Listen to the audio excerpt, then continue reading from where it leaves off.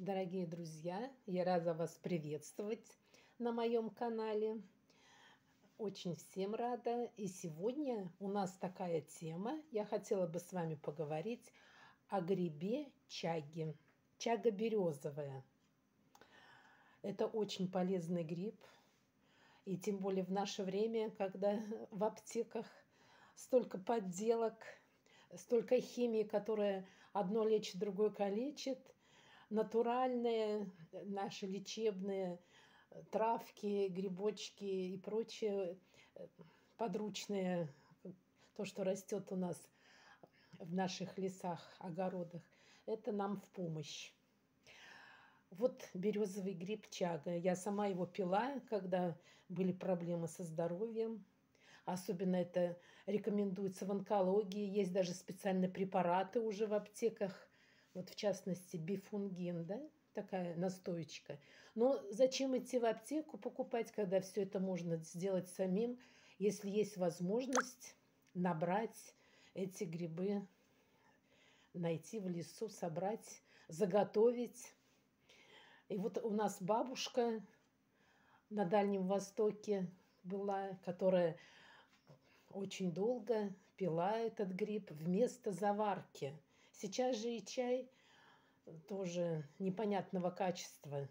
А здесь получается вкусный, ароматный, душистый и, главное, полезный напиток из этого гриба чаги.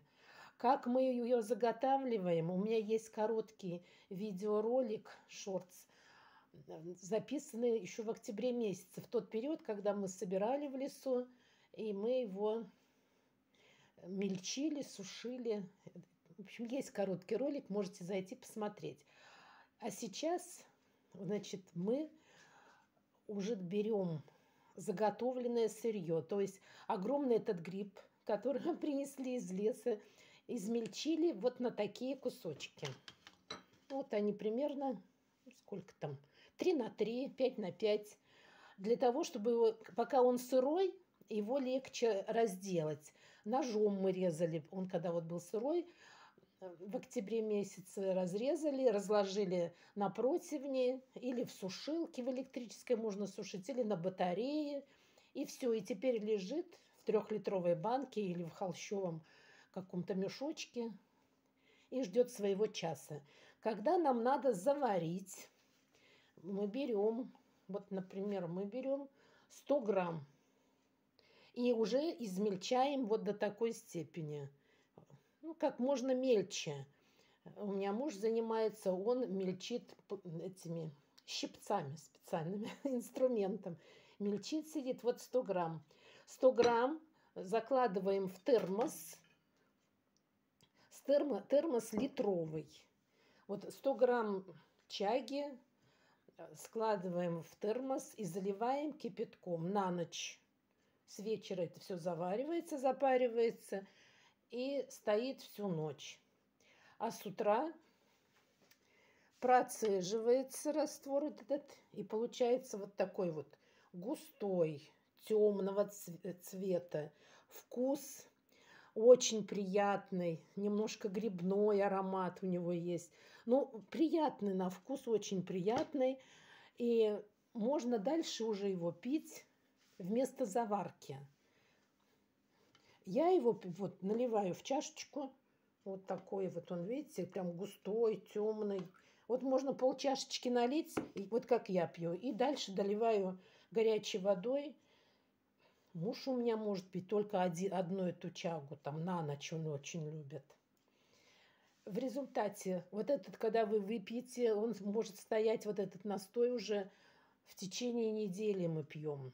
Дальше э, можно еще раз залить уже в чайнике кипятком, он опять настоится. И э, заливаем 2-3 раза. И он все время э, бывает такой же вкусный, ароматный. И главное, полезный. О пользе чаги вы можете прочитать в любой литературе. Про лекарственные растения. Ну, или там еще как, какая литература у вас есть. В рецептах народной медицины.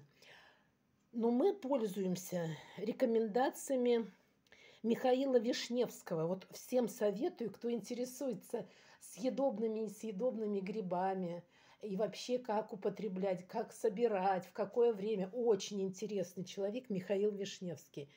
Это не реклама, ну просто мы сами с удовольствием его слушаем и смотрим на Ютубе. Поэтому, кто интересуется, посмотрите. Интересный мужчина. Он ученый, биолог, миколог, то есть специалист именно по грибам. И вот этот чагу он сам тоже употребляет и говорит, что сейчас даже уже во всемирном масштабе все заинтересовались этой чагой, проводятся научные исследования, ну а, а лечебный эффект уже давно известен. Всем, в общем, рекомендую пить, пить настой из гриба чаги. Но еще маленький нюансик. Из гриба чаги, кроме как настоя такого, то есть заварки для чая, можно сказать, можно еще делать настойку.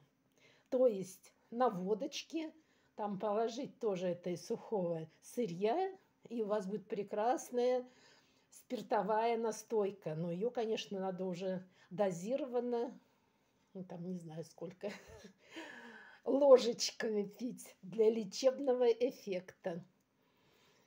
Вот такую информацию хотела до вас донести. Мы сами уже давно, лет пять, пользуемся этим грибом чагой,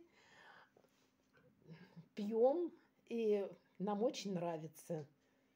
Так что делимся своим рецептом. Всем здоровья!